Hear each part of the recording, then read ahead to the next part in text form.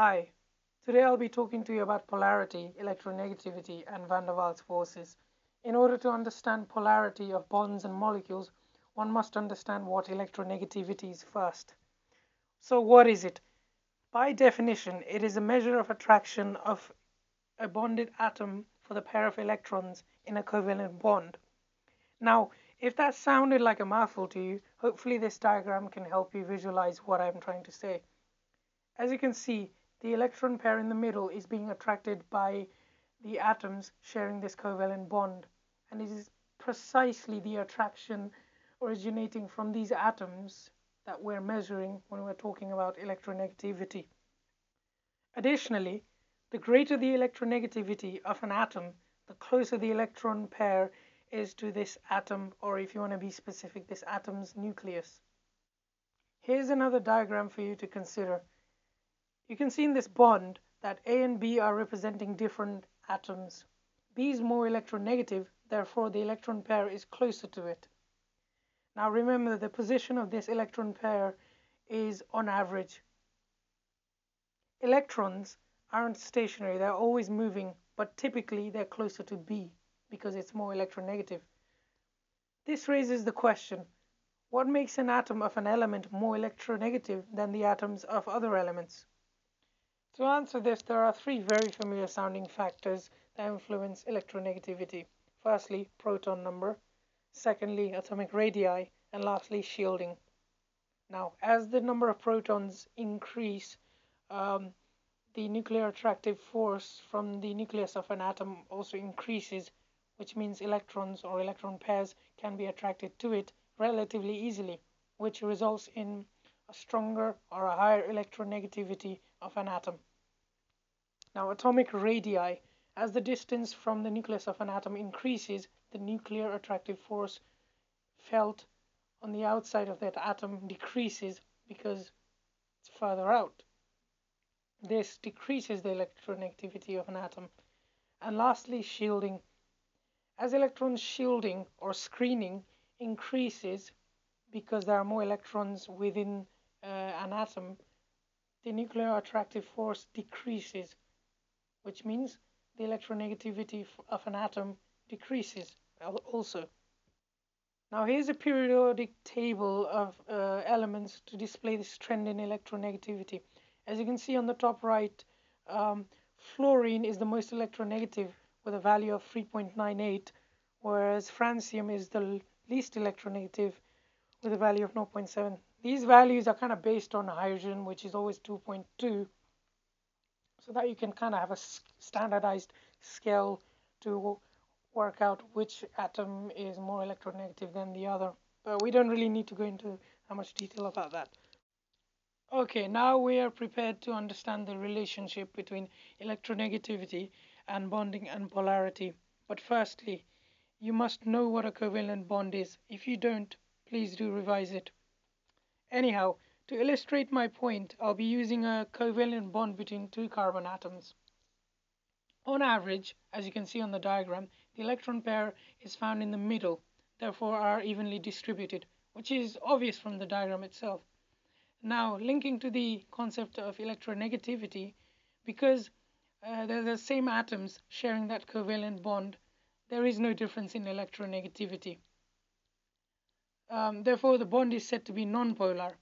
Okay, to summarize, um, because there is no difference in electronegativities between the two carbon atoms, the attraction for the electron pair is equal, therefore the bond is said to be nonpolar.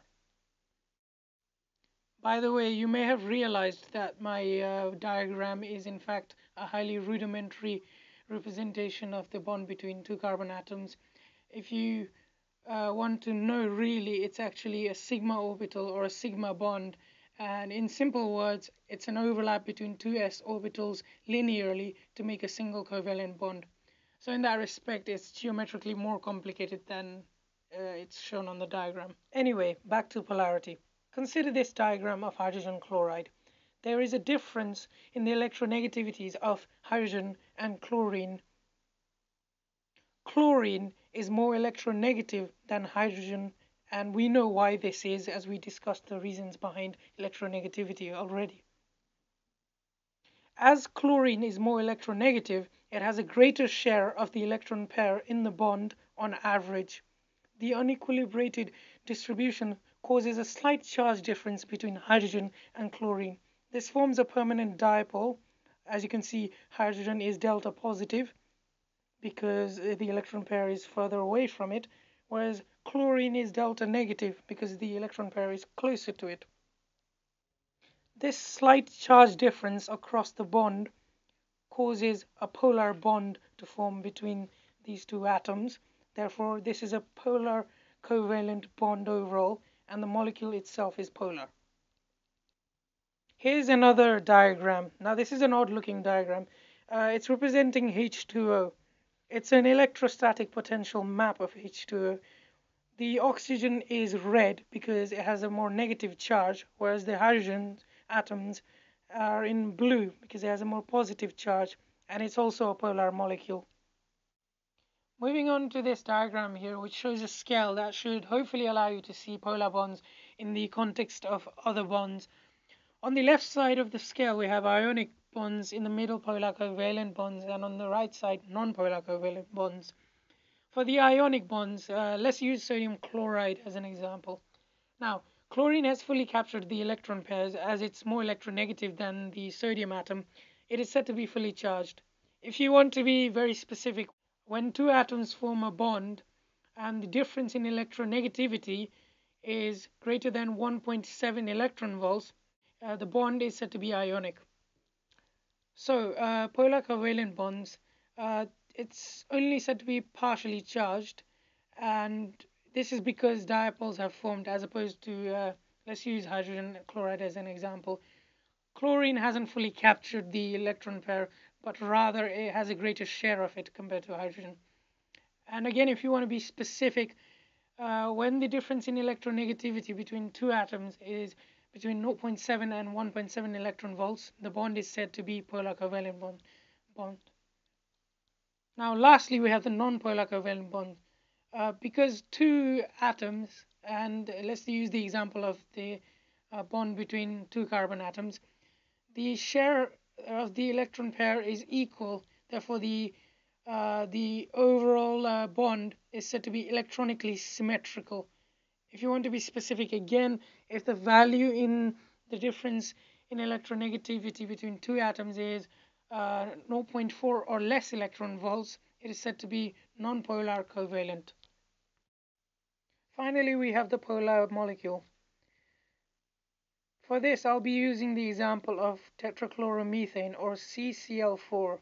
As you can see, between each chlorine atom and the central carbon atom, a polar bond has been established. This is indicated by the uh, delta positive and ne delta negative symbols that indicate a permanent dipole formation.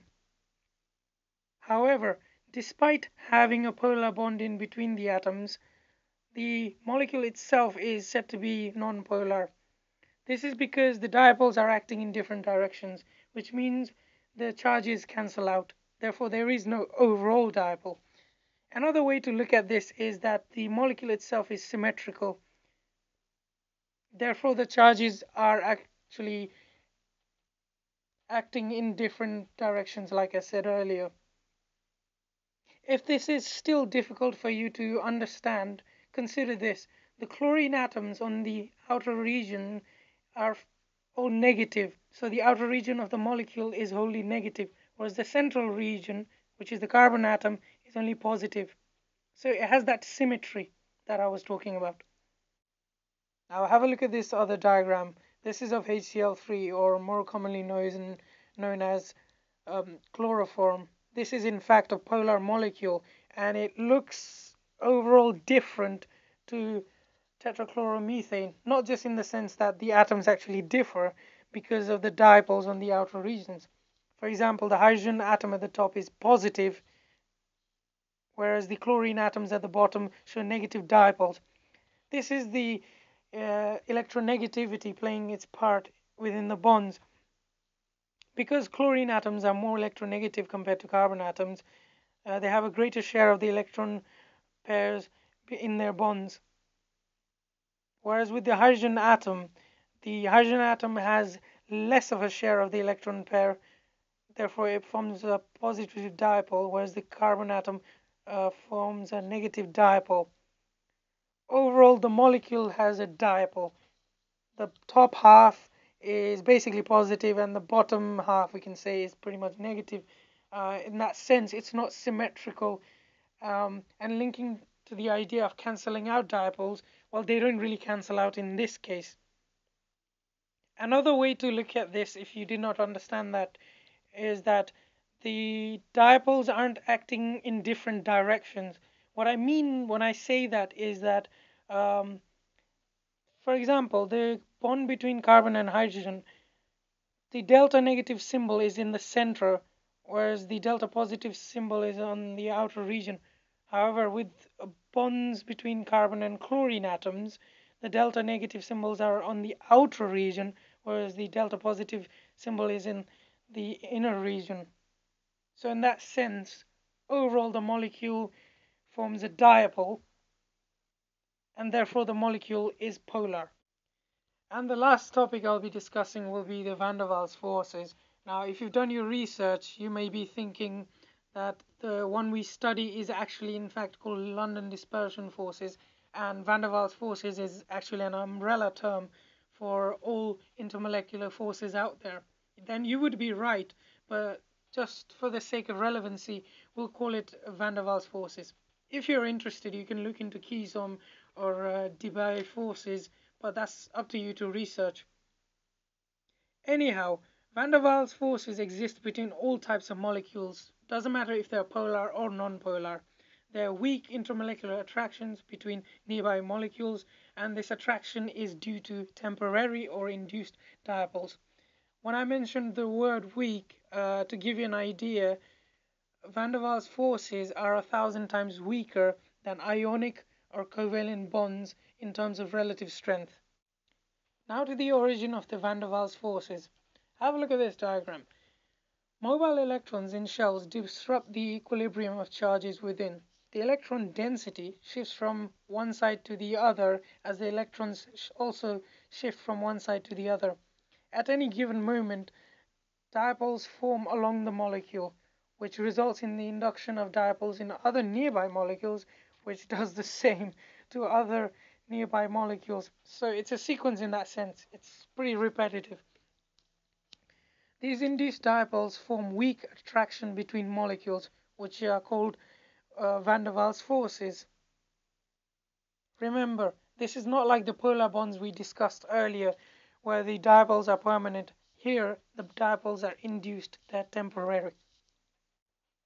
Now, if that was difficult for you to understand, uh, hopefully I can use this diagram to convey to you uh, what I'm trying to say.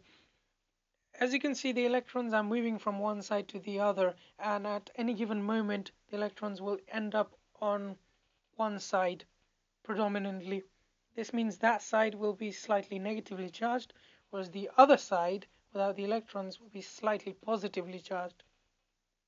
The slightly negatively charged side, when it interacts with a new molecule, the electrons within the new molecule get uh, repelled away to the furthest side possible. This means that the uh, interacting side of the new molecule becomes slightly positively charged, which in turn becomes attracted to the slightly negatively charged side of the original molecule with the electrons in. This forms the van der Waals force, and this works in a sequence among uh, molecules, nearby molecules. It's also worth noting that the van der Waals forces increase with the number of electrons. As the number of electrons increase, the larger the induced dipoles are and the attractive force between molecules also increase. This links to the boiling points of uh, molecules and that's pretty much it for van der Waals forces, polar, non-polar bonds and molecules and electronegativity. Um, I obviously had more material on the topics but they may just be too excessive and one has to be relevant to the A level specification. Although I would definitely recommend that you should do further reading on these topics. Um, anyway, hopefully you've learned something new or have updated what you already knew. And if you didn't understand something, please rewatch the video. Um, I wish you all the best.